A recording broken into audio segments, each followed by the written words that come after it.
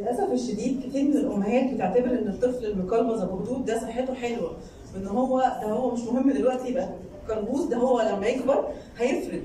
وبالعكس هي ما بتبقاش فاهمة إن ال obese child obese adult obese adolescent obese adult تمام؟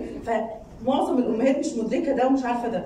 فهنا دكتورة هبه عصام أستاذ مساعد طب الأطفال والتغذية الكلينيكيه جامعة عين شمس هتساعد الأم الناصحة اللي قررت إن هي تجي لنا العيادة عشان تساعد ابنها الأوبيز. اتفضلي يا دكتورة.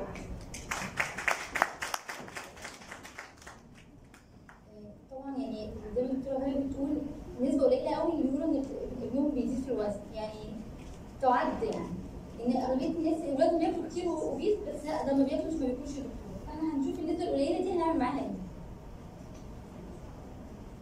يعني to take an example ده ولد عنده 12 سنة جاي ال outpatient clinic الأم بتشتكي بس أصلا من frequent night awakening بس. repeated attack of shallow breathing reaching 20 times per hour.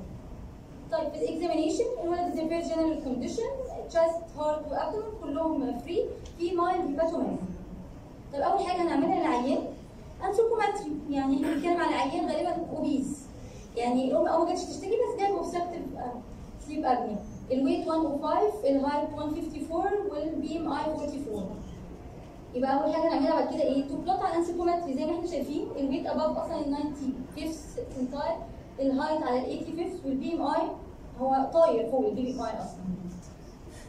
طيب بعد كده هنعمل إيه للعيان؟ هن diagnose الأول يبقى العيان ده عنده obese obesity لا وكمان complicated بس الأم جاية تشتكي بإيه؟ بال complication هي ما جاتش أصلا تشتكي بإن العيان أصلا زاد في الوزن هي مالهاش دعوة بالقصة دي. هي عايزاه ينام بالليل وخلاص. طيب يبقى according to the definition دوت عيان obese above the 95th percentile. يبقى الخطوة اللي بعديها زي ما الدكتورة آه، هايا الدكتورة مي الدكتورة هايا وبسمة قالوا الدكتورة بسمة قالوا لازم أول حاجة ال هناخد منه history أول حاجة في ال history في عيان obese 24 hour recall طب أنا بفطر وبتغدى وبتعشى إيه؟ بيفطر يتغدى الحاجات الظريفة دي two fried eggs وبيتعشى بيتزا اللي هي في الآخر طلعت 4000 kilocalories بالحسب لما نحسب حسبناها لقينا 4000 kilocalories ده طبعا والأم غالبا بتقول لك برضه هو ما بياكلش كويس. طيب هنسأل على حاجة تانية في ال history مهمة؟ آه هنسأل. ده هو أصلا جاي بيشتكي من complications يبقى نبتدي نسأل بقى في family history أصلا لل complications وفي ال obesity ولا لأ؟ ال physical activity بتاعتنا أخبارها إيه؟ ال screen time التلفزيون اللي بناكل قدامه الفشار والبيتزا ونشرب قدامه البيبسي ده أخباره إيه؟ ال diet how much يعني بقيت بقى ال diet إحنا خدنا 24 hour recall لا إحنا عايزين بقى زي food frequency أنا باكل إيه قد إيه وكم مرة في الأسبوع. وبعد كده هو نفسه شايف نفسه إيه؟ يعني أنا عندي طفل ممكن يجي يقول لي أنا أنا متضايق من شكلي ده 12 سنة. ده 12 سنة ده المفروض غالبا ممكن يبتدي يبقى bullied في المدرسة.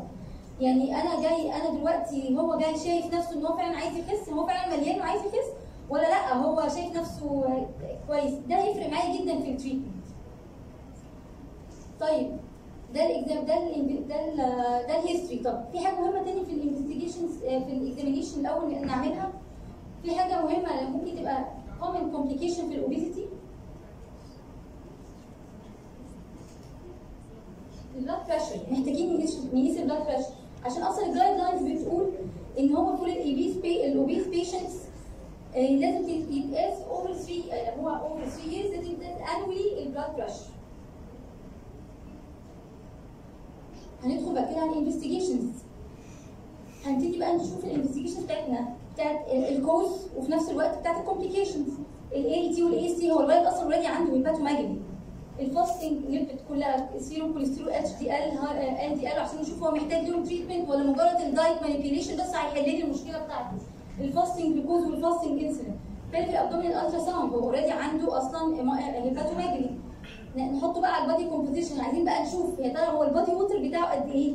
ال muscle mass بتاعته قد إيه؟ ال BMI بقى هيتحسب تاني. ال fat mass عنده قد إيه؟ إن غالبا الولاد دول بيبقوا obese بس يبقى ال muscle mass وال water في ال- وال water percentage في الجسم بيبقى قليلة جدا. عشان هو أصلا بياكل بياكل غلط. ونبتدي بقى نشوف لو أي في health risk تاني نبتدي نعمل له assess طيب هن- هن manage إزاي؟ يعني هنمشي معاه بخطوات إيه؟ إحنا عندنا ثلاث خطوات. prevention plus structured weight management وweight management link يعني هنمشي معاه خطوة خطوة. أول خطوة ال prevention plus هنجيله الأول يعمل follow up visits هن promote ال healthy eating اللي هي 5210 وهنقولها دلوقتي. ال behavior goals لازم نعلم الأم ياكل إزاي. يعني لازم نفهمها ان وجبه الفطار دي وجبه أساسية.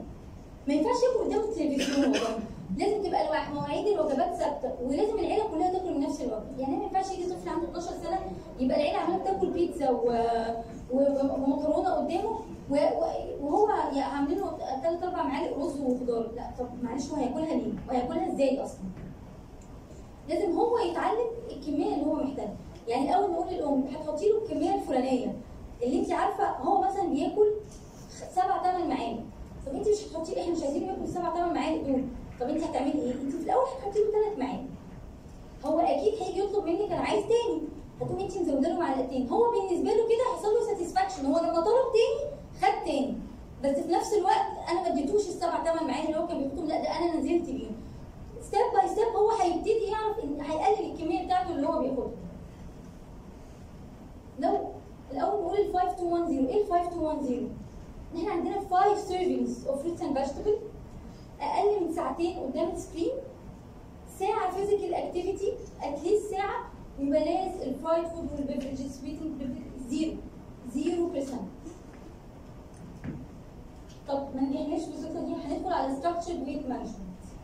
هنبتدي نقلل ال screen time أكتر هن recommend physical activity أكتر ونبتدي نظبط للأم ونعمل restriction أكتر. طب إحنا أصلا ال weight goals بتاعتنا إيه؟ يعني إحنا بناخد ال nutrition plan وال goals بتاعتنا إيه؟ بتبقى according لل age وهو نفسه عنده والجندر وهو ال- ال- الحياة بتاعته عاملة إزاي؟ يعني هو قاعد على الكنبة طول اليوم ولا هو بيعمل moderate activity ولا هو active تمام؟ يعني مثلا for example عشان إحنا بنتكلم على عيان عندنا اللي هو أحمد ده هو الولد دوت عنده 12 سنة الأم ما قال- قالتش إن هو بيعمل physical activity خالص فهو محتاج من 1600 ل 2000 كالوري وهو مين؟ يعني هو بياخد دلوقتي double ال maximum اللي المفروض ياخده المفروض ياخد 2000 maximum في اليوم؟ لا هو بياخد 4000 فإحنا مجرد إننا ننزله من ال 4000 دي لل 2000 ده هتخليه يخس مع إن ده ال normal ال RDA بتاعه.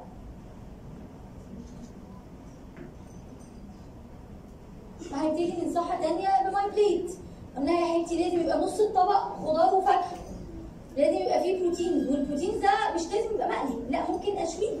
لازم يبقى فيه whole grains في الأكل. أحاول دلوقتي 12 سنة أنا ممكن ابتدي أدي skim milk لازم أبتدي أقلب من ال full fat milk اللي أنا بديه للعيان لحاجات skim yogurt skim milk لبن skim milk أنا ما عنديش أي حاجة تضرني دلوقتي. طيب if you failed هتيجي بقى نعمل multidisciplinary team ونحط بقى weight target إن إحنا عايزين نقل قد إيه على حسب إيه برضو على حسب ال BMI بتاعه وعلى حسب الايدج يعني برضو نقول example هو 12 سنة وال BMI بتاعه أكتر من 95 أكتر من 9 لا بي ام اي أكتر من 99% ده ال BMI كان عالي يبقى هو عايز weight loss around 2 pounds per week. اللي هو around نص كيلو آه ال pound نص كيلو يعني around هو 2 pound يبقى around كيلو في ال طيب. لو جه قال لي الاهل قالوا لا هو ما خسش برضه إحنا ماشيين على كل دوت وأنا ماشية ومتابعاه ثلاث وست شهور وهو فعلا ما بيخسش. هل في أي role لل bariatric surgery في 12 سنة؟ في role لل bariatric surgery ولا لا؟ ولد عنده 12 سنة؟ الاهل هيجوا يسالوني كده. آه في rules في indications إيه ال indications بتاعتي؟ إن ال BMI يبقى أكتر من زي... إحنا بنتكلم فوق 12 13 سنة. يبقى أكتر من زي... أو equal 35 kilo kilogram per meter square أو أكتر من 120% of the 95 percentile ومعاه comorbid comorbidity يعني أكتر من 35 بس معايا comorbidity ال comorbidity زي ال obstructive sleep apnea زي ال hypertension cardiac disease يبتدي يحصل عندنا insulin resistance وقتها. آه دوت آه، ده indication طيب لو هو مفيش complication يبقى لازم ال BMI يبقى أكتر من 40 يعني في وجود complication بنزل لأكتر من 35 لو هو في complication يبقى أكتر من 40 ولازم أي عيان عشان يدخل bariatric surgery لازم يبقى فيه multidiscipline team يعني nutrition pediatric surgery endocrinologist و psychologist ولازم يبقى العيان ده مشي معايا فعلا على نظام at least ست شهور وفشل بس هو كان compliant معايا. يعني هو كان فعلا ماشي صح حتى لو خس ما بيخسش جامد بس خس شوية إن إن ال post operative nutrition plan أصعب بكتير. من ال diet العادي اللي هو بتاع اللي هو من غير ما يعمل عملية. لو هو ما عندوش الحتة دي هو أصلا is not candidate for عشان كده لازم يبقى هو عنده الفكرة إن هو عايز يخس. هو مش أهله. ال factors دي بقى كلها اللي إحنا قلناهم بتاعت ال percentiles دي بتبقى موجودة في وجود الحاجات دي. إن هو ال bone maturity أكتر من 95% ال Tanner four or greater ال psychological environment زي ما إحنا قلنا. وان هو ال patient and parental commitment دول مهمين جدا وال failure to lose weight for 6 months إيه ال contraindication يبقى عنده psychological problem إن هو يبقى عنده correctable medical disease يعني ال obesity دي بسبب حاجة correctable زي ال hypothyroidism ما اللي بيبقى عندهم hypothyroidism بيبقوا obese بس أنا لو إيه لو أنا عالجت ال hypothyroidism كويس ومشيت معاه ب diet plan هو هيخس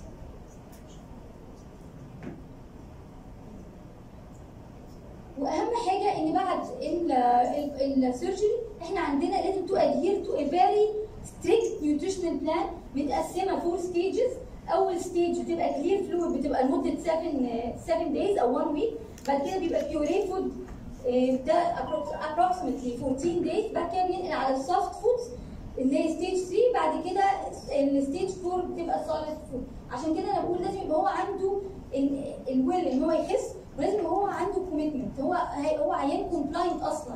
هيمشي على النظام. إن النظام ده أصعب بكتير من اللي أنا كنت ماشيه عليه قبل كده.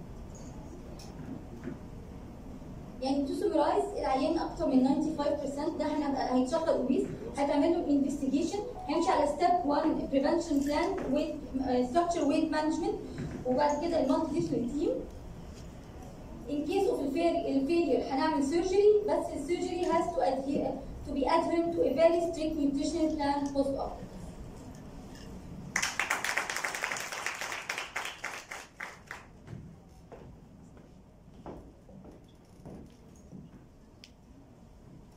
وهنا جه دور في العياده على بنت CP داخله مع مامتها الأم كان باين عليها قوي قد إيه هي مهتمية بالبنت قد إيه هي keen عليها. كانت واضحة وصريحة كانت بتقول يا دكتورة أنا مش عايزة بنتي تدخل أنا عارفة إن الأطفال اللي عندهم cerebral palsy أو آه، الشلل ال- أو ال CP يعني اللي بنسميهم ال CP بيبقى عندهم وزنهم بيبقى أقل من الأطفال العاديين. عشان دي رحمة من ربنا ان أنا أقدر أشيلها وإن أنا أقدر أحركها. فأنا بس أنا عايزة أكلها الأكل أنا خايفة أكون بأكلها الأكل اللي مش مفيد ليها وعايزة أكلها أكل صحي مهم لعضلاتها ومهم لأعصابها. وفي حاجة كمان يا دكتورة أنا كنت عايزة أسألك عليها إن هي لما راحت لدكتور من شهرين وقف لها كل الفيتامينات اللي كانت ماشية عليها ومن ساعتها يا دكتورة كانت صحتها في النازل. وهنا نسأل دكتورة مروة هل فعلا الفيتامينات مهمة للطفل الأطفال اللي عندهم مشاكل في الأعصاب؟ وهل في